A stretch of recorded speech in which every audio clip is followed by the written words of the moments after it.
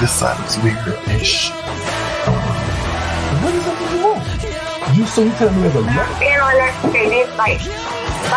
You look like Crackle.